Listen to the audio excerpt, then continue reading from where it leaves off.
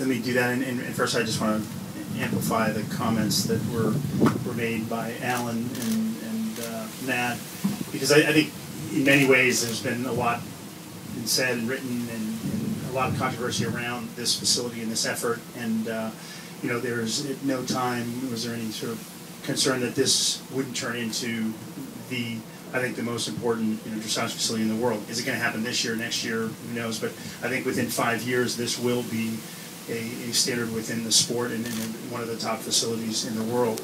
I believe that uh, like anything that is worthwhile in life, whether it's family or business or relationship or uh, anything, I mean, it's, it's difficult and challenging to make the transition from an idea or a concept into something that is meaningful. I mean, five years ago when Michael and I sat out here and looked at what we were going to do at WEF, there were a lot of critics, and there was a you know a lot of uh, people sort of saying, "Hey, it's not going to happen. This is the beginning, the end of uh, the Winter Equestrian Festival," and and um, you know we didn't want to really spend a lot of time addressing those issues. What we did is we spent a lot of time executing, and we we, we invested a tremendous amount of money. Built relationships with very important people in the sponsorship front, of which Alan was a participant and, and, and Matt was a participant, and, and executed. And at the end of the day, um, talk is cheap uh, performance is is what and outcomes are what are, are generally what you are evaluated by. And I think in many ways, despite still lingering uh, criticism, I, I, believe the Winter Equestrian Festival is is the one of the most important events in the world, and it has really grown in a number of different areas. Um, in, in, trying to work through the Global Dressage Festival, there were also all kinds of challenges and all kinds of reasons why we shouldn't have done what we done did but people, you know, like Ken Braddick, who's been a champion of this, and Kim Van Camp and Boyer, and, and some other members of, of our group, Robert Dover, I know was important to this.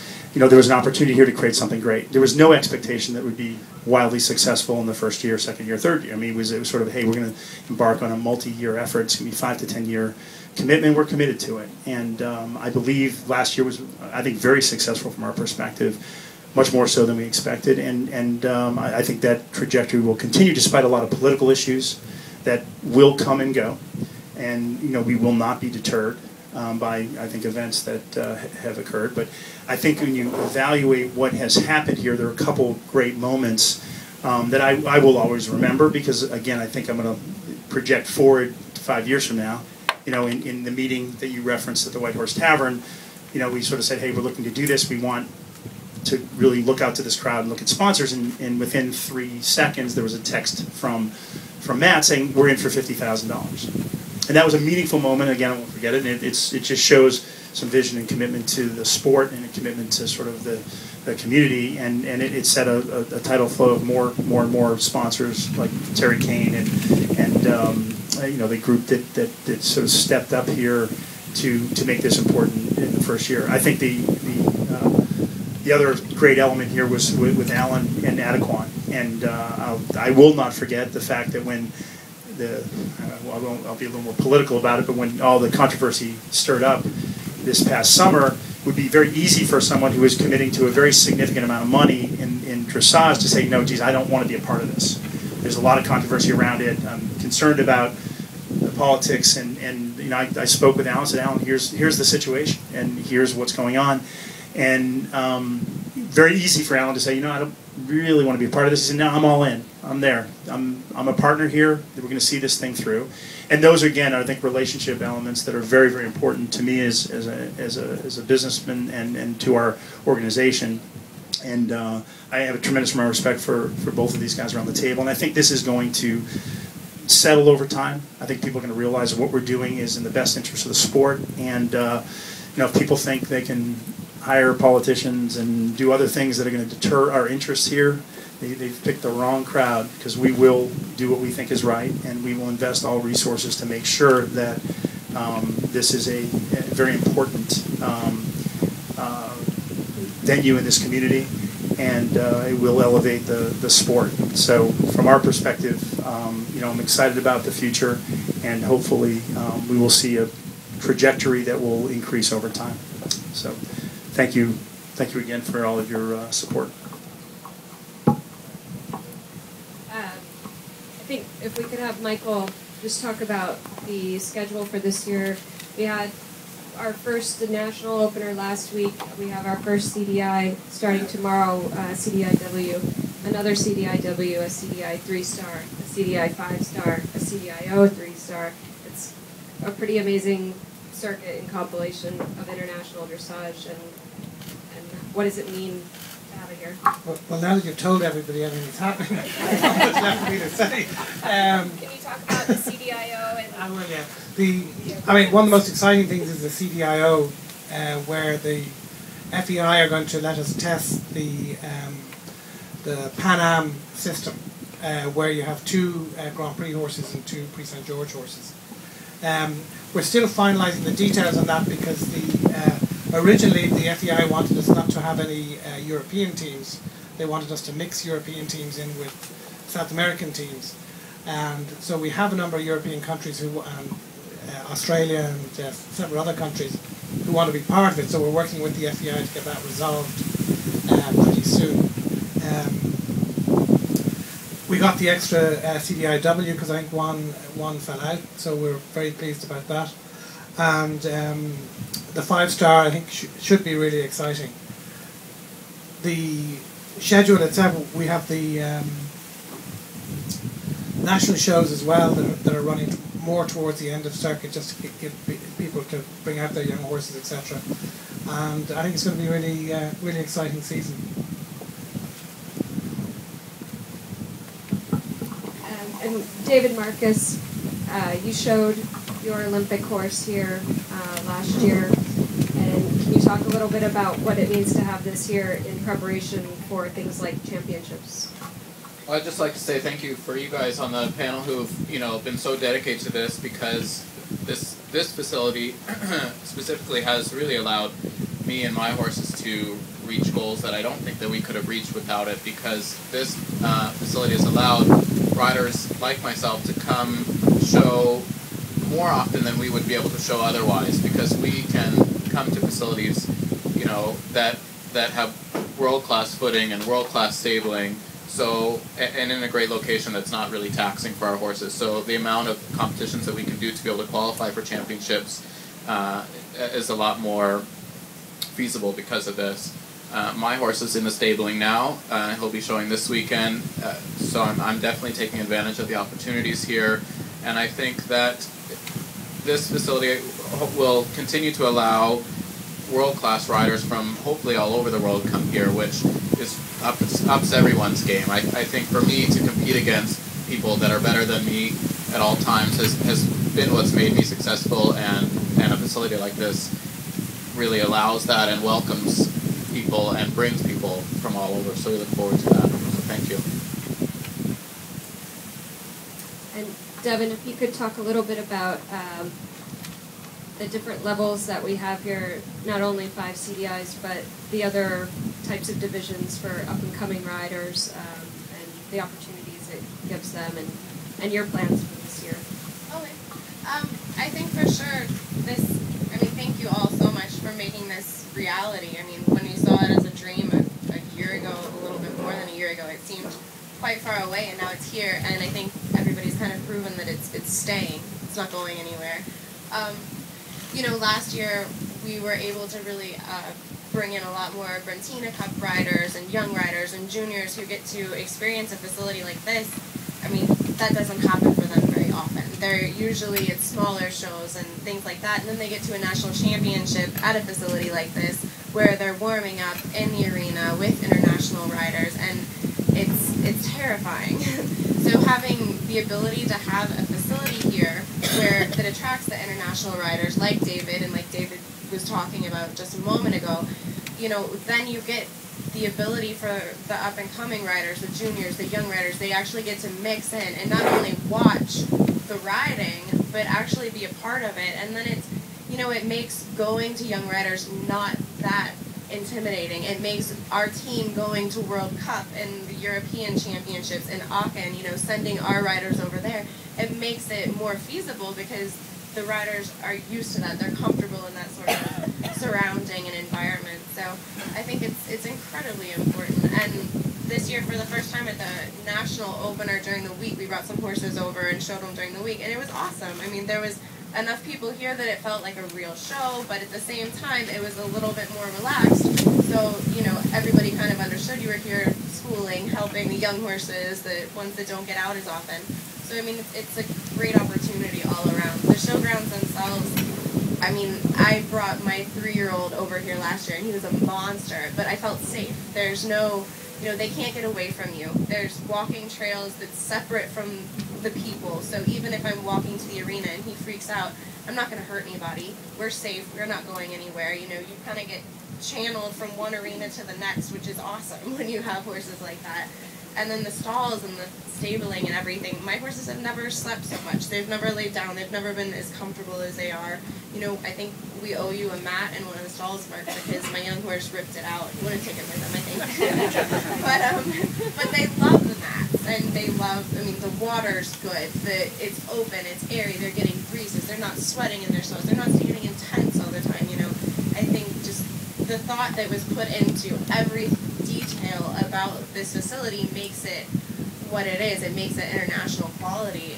And I mean, we're thankful it's a real dressage facility. I mean, we have a real facility here just for dressage. It's amazing. Anybody have questions?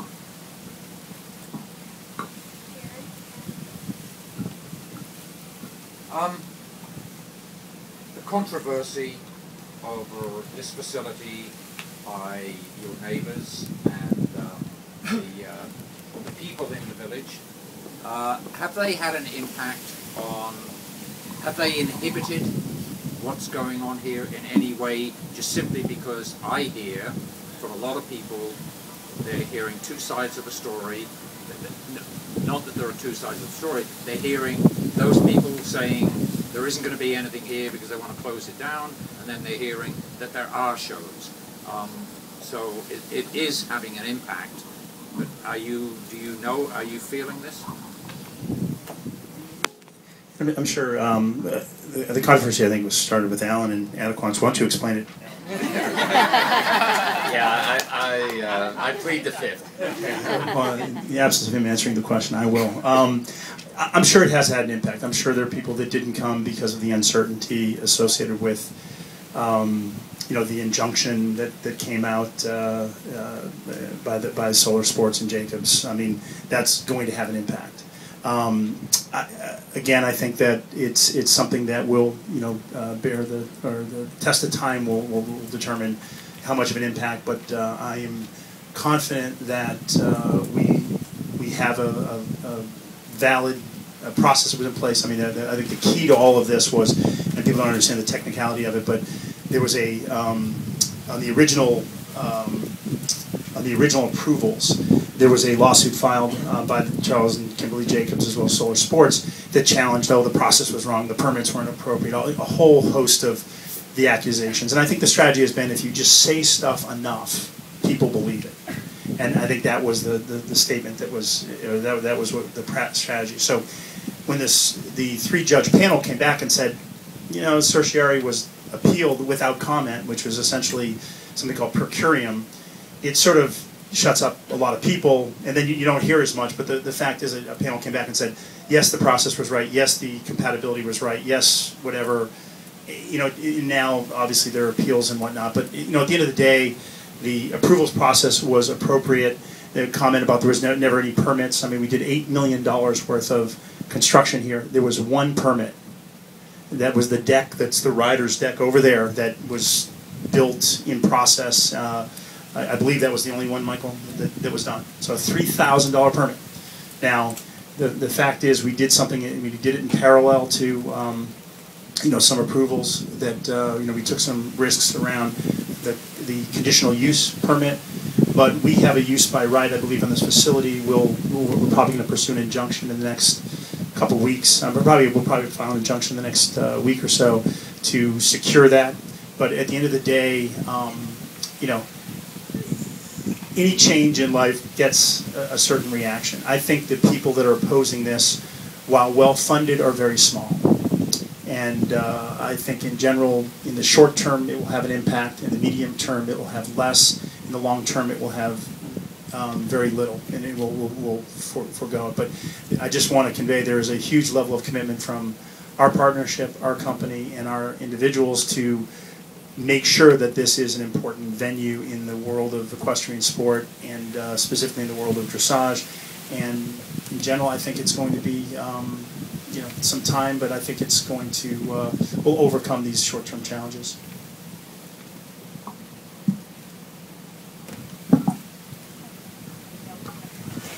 Mark, um, is there anything that those of us who are deciding to do this and live that we could do to help? Is there, a lot of people have to say, what, what can we equestrian forum, um, which I know had a dressage origin to it, that I know uh, Terry and, and Alec and uh, um, Kathy, I think, was involved as, as well as um, uh, Jack. Um, you know, they- that group I think did a lot to um, raise the awareness that this just wasn't a, a battle between you know uh, WEF and, and, the, and the Jacobs for the most part. I mean, I think hundreds of people, from my understanding, communicated to the village council, and it, it opened up their eyes to some degree where they you know came back and, and were supportive of uh, the the, the uh, special use permit. I think in general, sending emails and communicating that this isn't sort of a private battle, but this is a, an industry that in many ways can produce hundreds of jobs, can be thriving from October, November through through uh, May and April, or April and May, is is important. And I think again, people can continue to use that vehicle or others to get the message out that this is important to them, um, I, I think it's going to help. So I, I appreciate the effort that was was. Uh, put in place, and I think that will continue to have a role to the extent that um, people are listening. I, am, you know, there's a lot of stuff that I'm, I'm not sure people are aware of. I think we're going to be a little more aggressive in the next couple of weeks to make sure people understand what happened here in some of the decision making. And I'm, I'm saying it because you know some of it was sort of public information, but there were some transactions that were that occurred days before votes that we don't believe were appropriate and uh, potentially had an influence. And I think when people understand exactly the dynamics of what happened, I think people are going to understand that this there, there's a, there's a lot more politics here than practicality. And um, you know, this isn't. I, I don't think there's been a thoughtful review of what the benefits are to this community, what the benefits are to the equestrian uh, sport dressage. And um, I think this is, you know, the history will, will prove that this was a political protect my backyard initiative that uh, was well funded that uh, you know disrupted the the initial development of the facility, but you know we persevered and prevailed.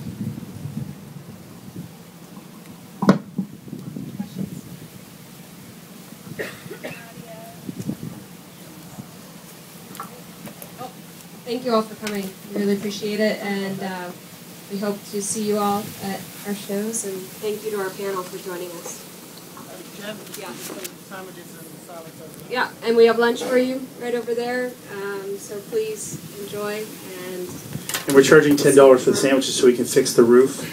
Um, I just realized. It's worse than I expected. Yeah, okay, no, just kidding.